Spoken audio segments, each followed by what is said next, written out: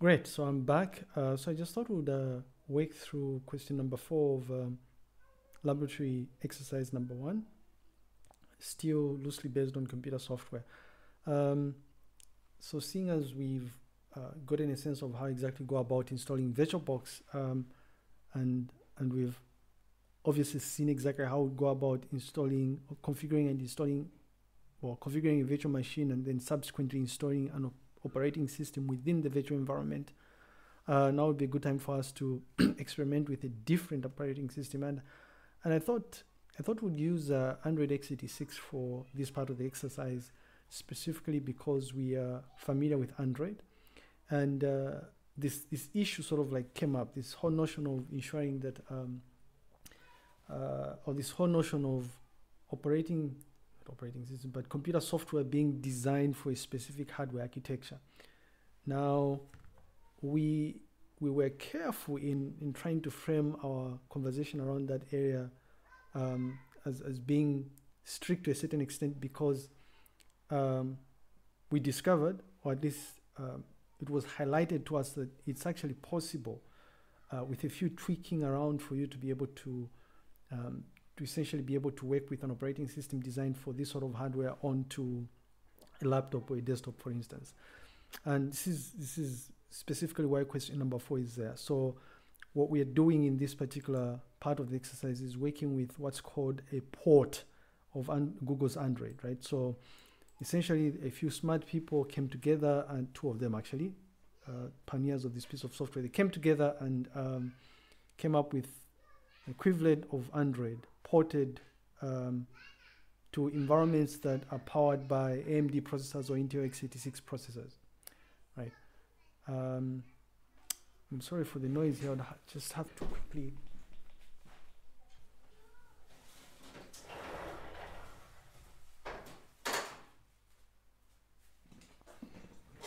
Sorry about that. Sadly, I live. Um,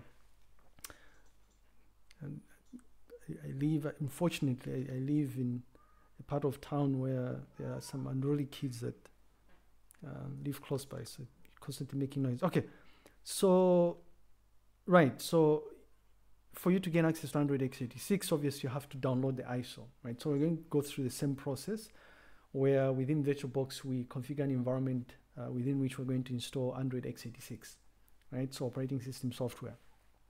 At this point, the assumption we're making is we've already installed uh, the VirtualBox or Oracle VirtualBox hypervisor, right, within which we're going to configure this environment and then subsequently install the operating system that we want, right? Uh, and remember, the end goal is to try and play around with utility tools associated with Android.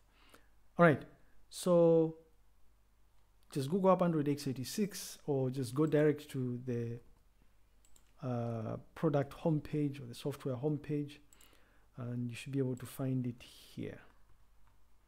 Yeah? Okay. Googling is just fine.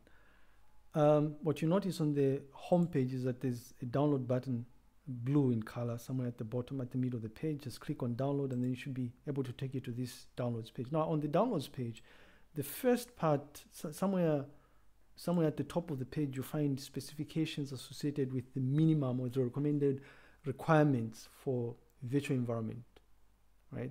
Or rather, minimum requirements of the piece of hardware where you're going to install this ported version of Android, right?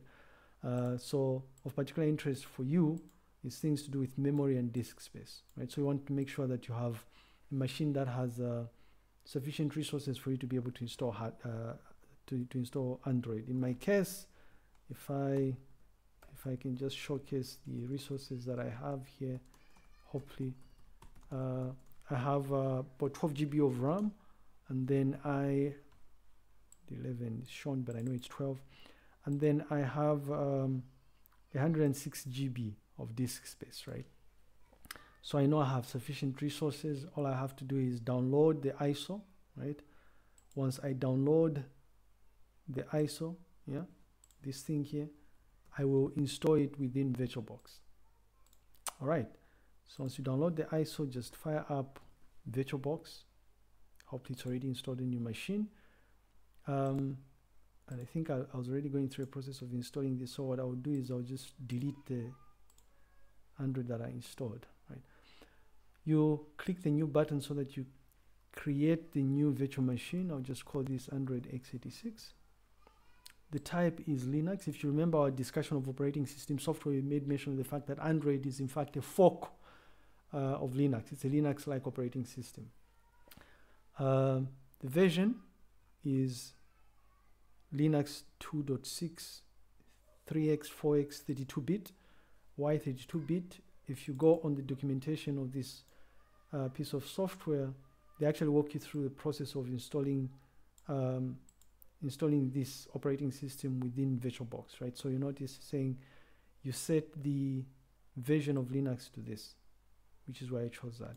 And then you specify the appropriate bit type. In my case, I've specified 32 bit because the the, the, the version of Android x86 I downloaded is 32 bits.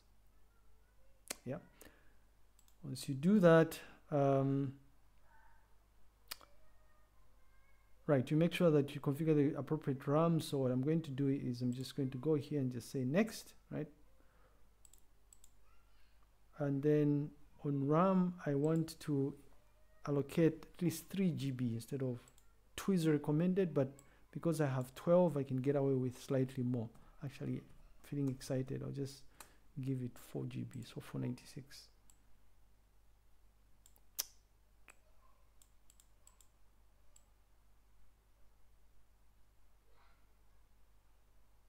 we go so 4 GB of RAM here then I'll say next uh, next next next I'll just give it 10 here. Uh, next. And then I'll, now that I've configured the environment, I'll say start. And then I'll click this button so that I choose the location of the ISO, which is here. I'll say open, right? You, you, you choose this because the default option is always pointing to your CD-ROM drive or your DVD-ROM drive, right? So you want to make sure you explicitly specify the location of the ISO image. All right, so we wait for it to do its thing and you notice it's not as slow as the Ubuntu version. There's a couple of options that come up. Again, if you go to the website and you, you visit the documentation area of the website, which is here, you find that uh, they'll explicitly walk you through the process of installing this sort of configuration details you need to specify. So we are at this stage here where we want to install a new virtual machine, right? So we choose, I hope I'm recording this, I think I am. So we will choose, uh, come on, we choose installation. These other options here will allow you to, to run this piece of software without installing it, just like the option we saw in Ubuntu. So I just say install. Um, wait for it to do its thing. Then according to the instructions, they say we create and modify partitions. Uh, they are telling us as part of the instructions that we shouldn't use GPT. Um, then we'll create a new partition. Primary. Just go with the default.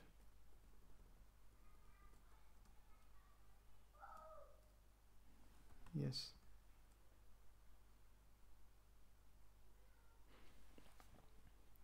Mm, you notice that all I'm doing here is, uh, it has to be bootable. All I'm doing here is I'm following through with the instructions that are here. Yeah.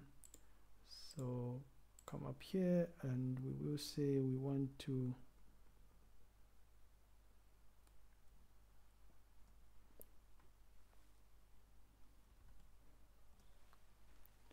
right. So we just wait for it to do its thing. And then what we are going to do is we're going to quit. Then we're going to say okay because we're going to work with what the newly newly created partition the SD1 there. Just say okay we choose uh, ext4 right? And I'm choosing ext4 because uh, yeah they're recommending that. And all of these different file system types by the way will make sense once we have a discussion of uh, secondary storage very very soon. Um, yeah so we're going to say format this and then wait for it to do its thing. Uh, according to the instructions we should install grub right? The bootloader will say yes. Then we'll say yes. Then just wait for it to finish hopefully should be able to.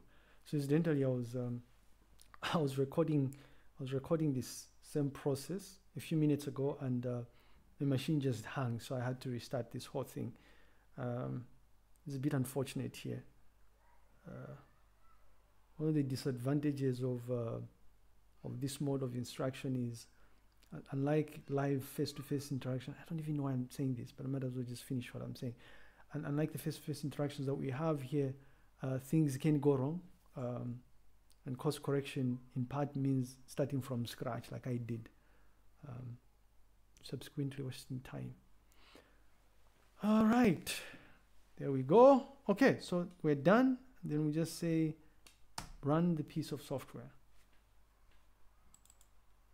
Just wait for it to do its thing or just close these two tips there for Android to boot up. And you notice that once we boot this the the kind of interface that you see is similar to what you see on your mobile device right? Which is pretty cool. Uh, uh, and I guess people that don't have access to Android devices will probably um, find it a lot easier uh, to work with such a configured virtual environment because remember we said the MWOW tablet if you can see it at the back background there this thing here MWOW tablet is being used as a case study device for this course and so what that means is a, number of examples that we're going to be um, using are going to be centered around Android. So in the event that you don't have an Android phone, you can just as well easily configure a virtual machine and be able to to perform tasks that people with Android devices perform using your machine. So I say let's go here. Um, and really the process I'm going through is what you would do when you're configuring um, a new Android device or if you've formatted your Android device. Uh, I have no idea why it's lagging here, but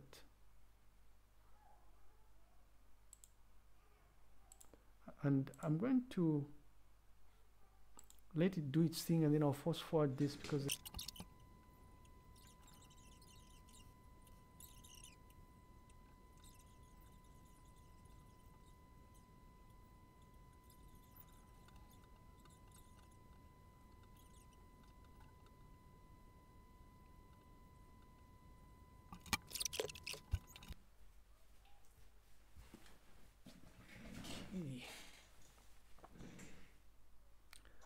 All right, sorry about that. I hope I'm still recording. Yebo, sorry about that. I had pick up a call. So next, let's go, and then boom.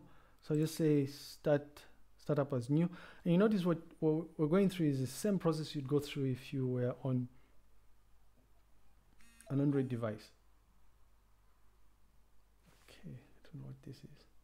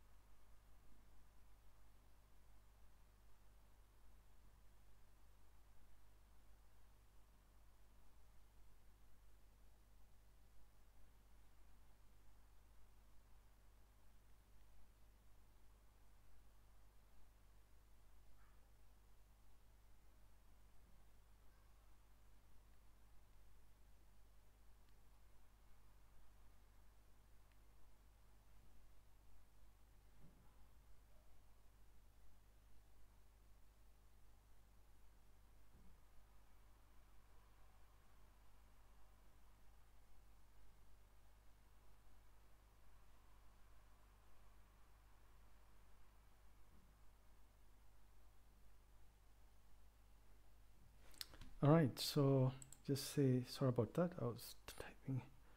I'll just go with virtual Wi-Fi. I'll have to fast forward that segment there. Um,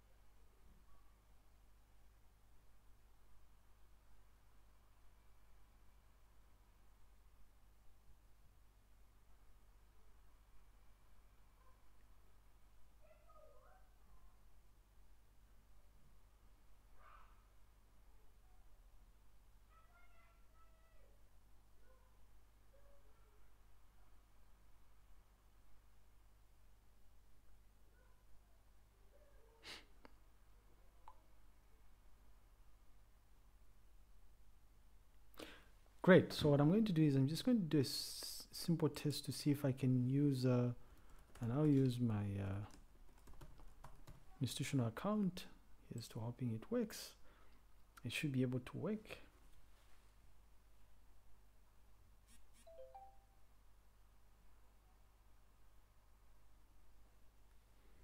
Come on.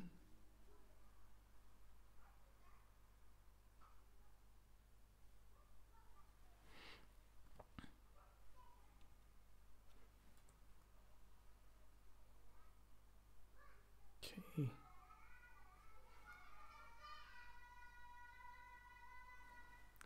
And uh, what I'm going to do is I'm just going to pause for a little while here because I'm typing my ah my password right. I think my thing crashed here. I hope it's working, which is a bit weird here. Let me just check. What the hell? start it again all right great so here's to hoping this works. I'll just type in my password and then I'll log in.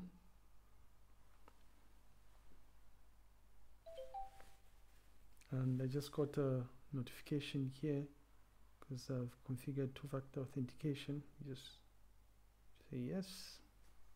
Boom. Come on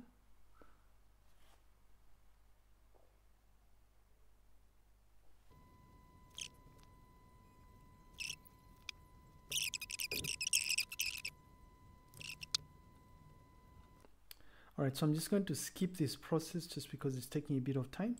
Um, we, we don't want to turn this, come on, just skip it. We don't want to turn this uh, screencast into something else. It's the, the point of the screencast is just to showcase the fact that uh, uh, we can install, unser, weird name here. We can install Android on a desktop machine using virtualization software. We go all set.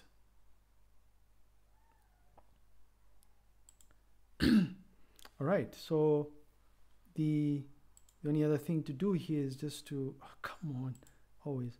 The only other thing to do here is just to test one, one or two applications. I'm just going to test one. I'll fire up Chrome from within this uh, Android virtual virtual machine, and then I'll try and see if we can search for we can search for something. Come on. And it's a bit slow here. It's like I, suppose I should have given it slightly more more RAM right than 4 GB Let's see if we can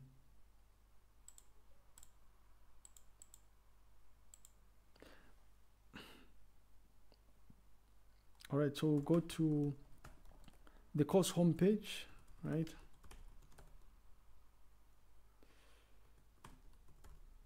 I'll just go to homepage here. Ah, oh, come on. This thing is so slow. Okay.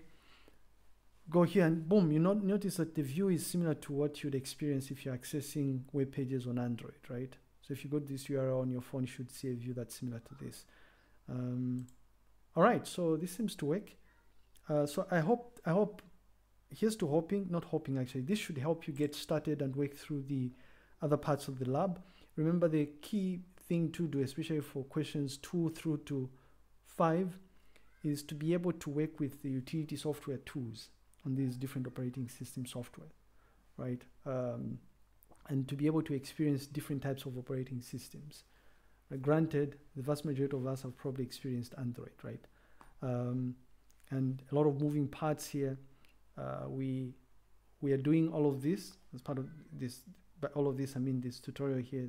We're explaining the screencast. We're doing all of this using a piece of application software called VirtualBox, Oracle VirtualBox, which is a hypervisor. Specifically, it's a Type 2 uh, Type 2 hypervisor, which runs on top of an operating system, right? So it, it runs the operating systems that you install as part of this, uh, uh, that you install within this virtual environment, VirtualBox. Um, I refer to guest operating systems because they run within this application software that has to be executed on a host operating system. Great, thanks. Uh, good luck.